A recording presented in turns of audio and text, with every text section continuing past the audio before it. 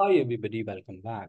In this video, I'm going to show how do we customize email notification and subject, email modi and then subject. Let's look into it and see how this can be done.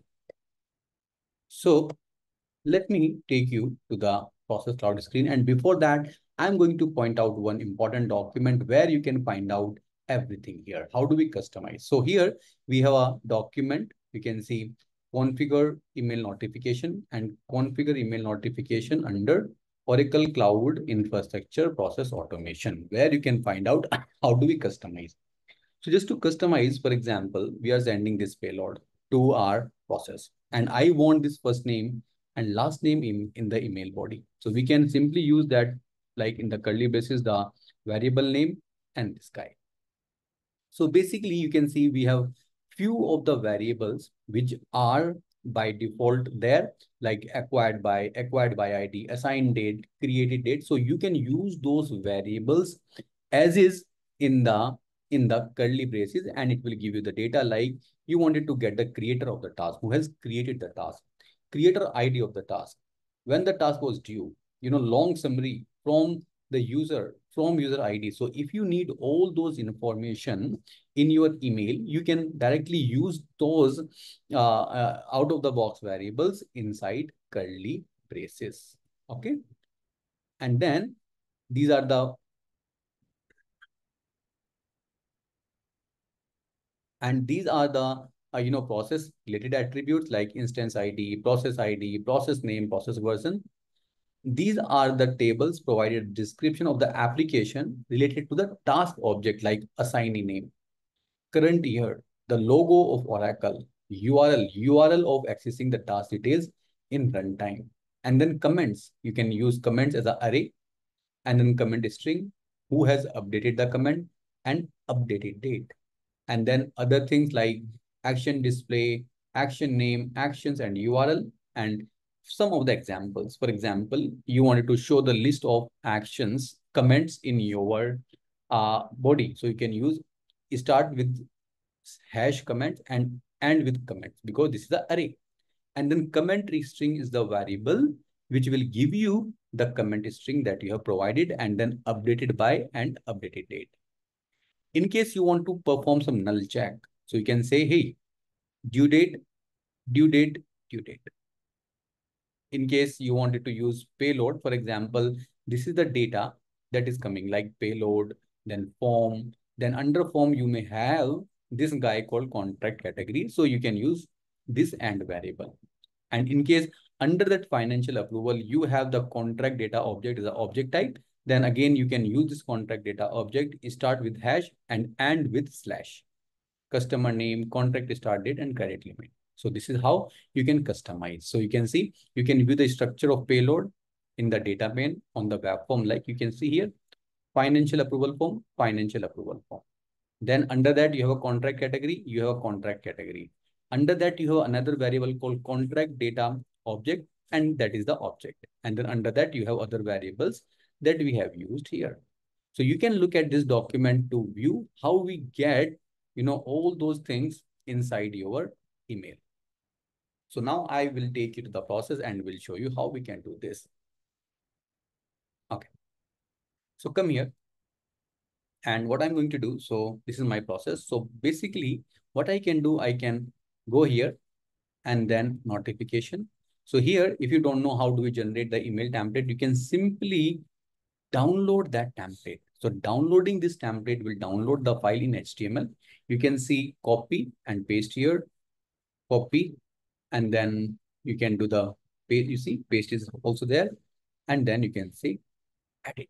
When you say edit, you will see, okay, it is not visible here properly. So you have to refresh.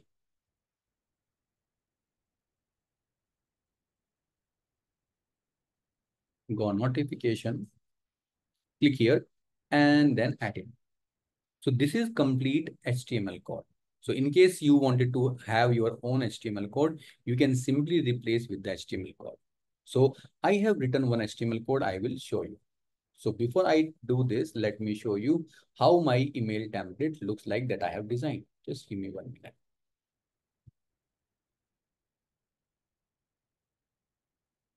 Okay.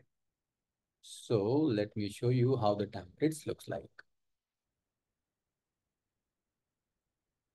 So here, this is the template that I have created where I will have assignee, the, you know, the, the leave request from the first name will come is waiting for your action. Please navigate to the action list to review the request and take action. And then we have given one button also. And then the header leave request details. And then you can put request ID, requester name would be like first name and last name combination, email address, leave type, from date, to date, reason, and in case you want to provide comment, you can provide comment also. So let me show you that HTML file that we have created here. So if I scroll up, you see this is completely HTML body. If you know HTML, you can generate it very easily. Hello, assignee. Assignee is the standard variable that I just show you in the document, okay, which will show you the assignee name. And then here you see, I am using the first name from my payload. How I getting this? You see hash payload, hash payload, payload will be the standard one that will come. And then leave web form argument, which is start with hash and ends with this hash and with slash. And then the variable. So how can I get this exact one? So go back to your process. Go to open data association and then from the input, you see leave web form arguments, and then you see first name. So it will be like leave web form arguments and then first name.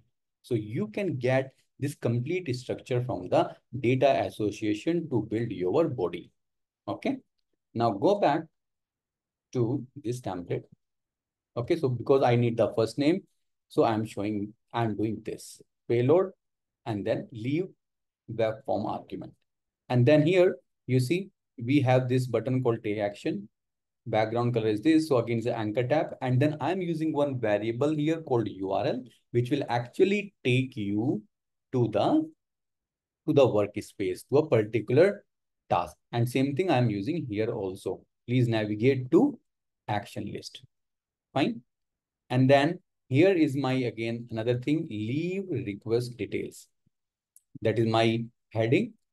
Okay. And then we have a complete table here where I'm generating this, you see, again, payload leave form argument because I need to show, I need to show what? Uh, uh, the data. So I can remove that. I don't need it for now. Request ID. So you can see one TR requester name, and then I'm using first name, last name, email address, email, Again, you have to take from the data association correct type, otherwise it will not be populated. Leave type, leave type, from date, from date, to date, to date, reason, reason. And then in case you need task comment, you can put task comment here also. Let me remove it for now. And then here you can see the end of the payload. So meaning you have to use payload and then the form argument variable and use all those guy here. Fine. Let's save and let me show you again here. So now this is how it looks like. Fine. So what I'm going to do, I'm going to copy this complete code, come here, and this is my default template. You cannot rename. Add it. Let me check if I can rename this. Yeah, that's it. Custom email template and then paste, remove and paste it here and then preview. Okay, and then finish. All right, now let me open and check if it is correct or not. Again, because sometimes it is getting corrupted. Yeah, so sometimes what is happening in OPA3, you see earlier I gave I gave this complete table inside that. So you copy this and this table came out from this tag automatically. There may be some issue. So you can copy this table from here and then copy this control X and then put it here again. Okay. Make sure this table is between those two tags. Preview. Okay. It is not visible here. That's fine. And finish. Then which means it is okay. Now let me try one. Okay. Let's activate and see. Okay, so so this is the body. Now, in case you want to customize the customize the subject. So on a sign, for example, I want to customize that. You can say, hey, action required manager approval, manager attention, attention, and then leave request receive from. Then again, curly braces start. You have to use the same expression payload dot payload dot this guy leave web form arguments dot. Then let's suppose let me use last name here. Okay that is your subject. Okay cool. Now let's find let me see again if it is working or not okay let me check here yeah that's okay now and let's activate it.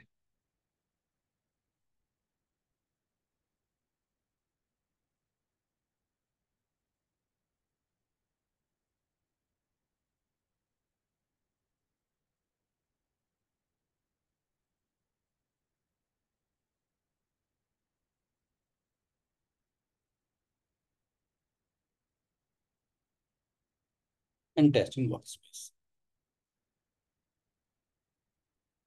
This is my application. Student Rao.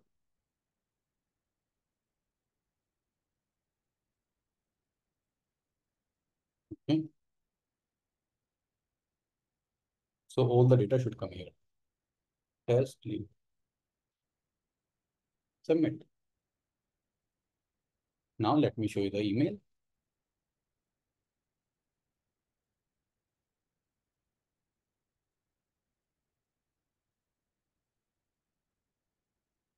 Okay. So you see the email has been received because I didn't change. Okay, my bad. So what I did here, I choose the default template. What I need to do, I need to use that template. You have to choose that template here. That's the problem. Okay. So now let's let's see. Okay, fine. Activate now. I forget to choose the template. Otherwise, I should have that correct one. But you can see here, the subject has been changed. Action required, manager attention, leave request received from Rao.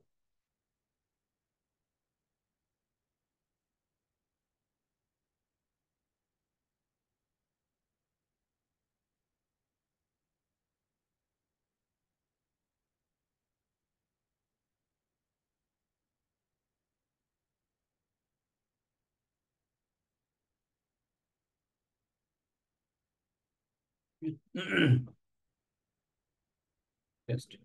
So, fine. Let me show you now. Cool. So you see, I have received that customized email, action required, manager attention, leave request received from Teja. Hello, AJ. Leave request from Ravi is waiting for your action. Please navigate to the action list to review the request and take action. Take action is the button and this is your heading and this is your complete data. So when you click on this action list, it will take you to the workspace to the particular action. So you can see it will take you to that particular task number. So this is how you guys can create the custom template and create the and customize the subject. That's all guys. I hope you find this useful. Thank you. Bye-bye.